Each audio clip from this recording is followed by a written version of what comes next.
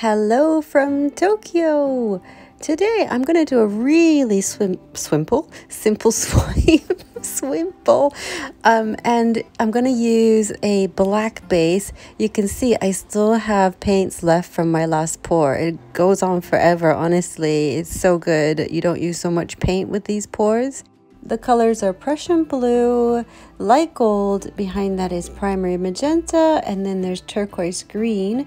The oxide black is the base, the swipe color is titanium white, and the light gold, primary magenta, and turquoise has four drops of the silicone oil in it. Four drops. The light gold is a little bit thinner than the rest because I was using that to swipe with before in the last painting, but today I'm going to use the white to swipe and I've made that thinner too. I'll be using this plastic folder to swipe with, just the one side this time. I'm trying to show you the thickness of the black base paint here. Not sure if I can get it in the light properly, but it's thicker than the swipe paint for sure. So I'll show you the white now. Hopefully you can see the thinner consistency of the swipe paint. And to lay down the colors I'm going to use this broken funnel. It kind of broke off.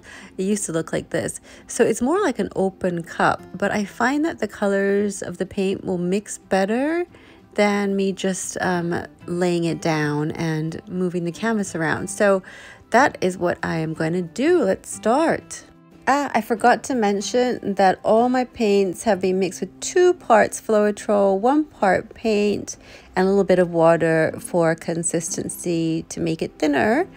So, two parts Floetrol, one part paint. Let's start.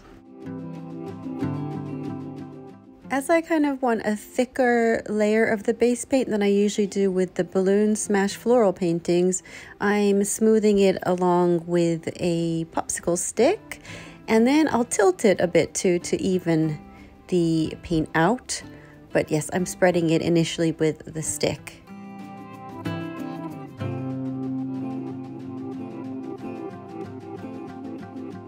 I always get tons of bubbles when I spread on the paint with a stick or a palette knife. So torch out all the bubbles and then we're ready to start laying on the colors.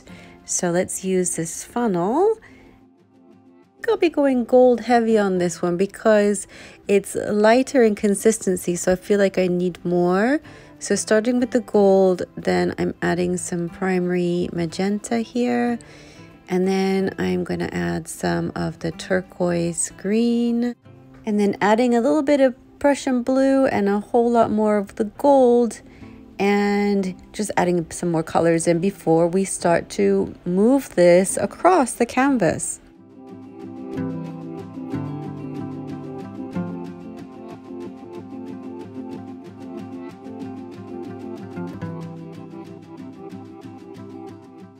If I was doing this as just an open cup painting or funnel pour painting, I would put less turquoise green in because that is a opaque color, whereas the magenta and the Prussian blue are transparent. So the turquoise wins, you see. So you would put less. But this is fine for this purpose because I just wanted them all to blend together. And then I'm going to swipe anyway. So this is good as it is. I love these colors together. So I'm going to jiggle it about a little bit, tilt it until the colors blend a bit more. And then in any of the gaps, I'll add some paint as well um, to try and make it even at the top where I'm going to swipe from. I filled the gaps up with magenta and gold because there was less of that in the mix before.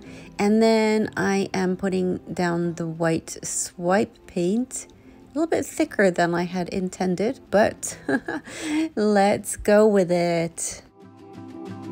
I'm trying not to pull down any of the black paint from above the white but there's one little bit there that I did manage to catch but it's not such a big deal. I think it looks fine so I'm not worried about that. And I'm carrying on pulling the plastic towards me. using the thicker plastic this time. The thin plastic was actually really easy to use in the last painting, but those were thin strips. And at the end here, I'm just trying to lay it over so it kind of drops over rather than like a hard finish. Really quite tempted to stick that bit on the other side of the canvas because I really enjoyed doing this swipe and stick. But today I'm going to keep it simple and leave it like this, just watching the cells grow or the lacing develop. Now after five minutes or so, look at how big those cells got at the top just giving it a quick torch to see if anything else pops up. But not that I really want it to. I quite like it as it is with the thick white band at the top. I've decided I wanted a sort of softer border as it contrasts to the bolder type cells underneath the white band. So I'm going to blow some bits out and add some more white paint to that part. Okay, let's look at the finished wet version of the painting. Can you tell I tried to soften the white a bit in contrast with the harder lines of the uh, webbing or lacing beneath? But let's have a closer look at the lacing now. Just look at how it blended so well, those colors.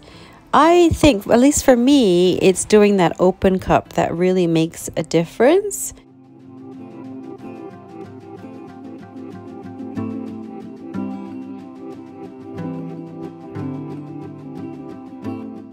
I really like the shape of this webbing or netting or lacing. I feel it's more like netting than lacing even, you know really cool. And they're so thin, the lines, because uh, of using a thinner white swiping paint.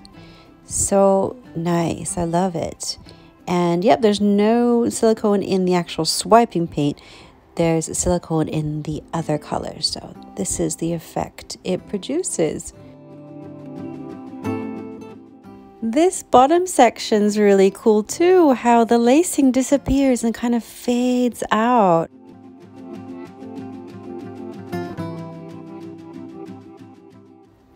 And here is the dried finish of the painting.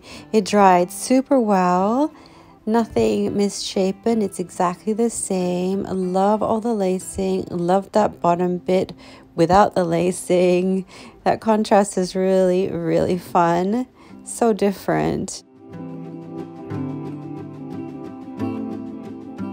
Going in for a closer look, it almost looks like scales to me too. It could be anything, really, whatever your imagination takes you to. Really, really love it. What do you think? Do you like this version or the one before with the thin gold lacing? I think white works better on black. I think, yeah, I'm going to try next black lacing on white and see how that goes.